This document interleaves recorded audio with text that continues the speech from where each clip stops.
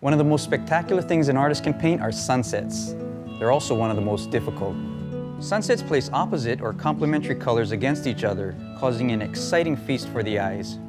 Sunset colors change like a rainbow, moving from red, orange, yellow, green, blue, then purple.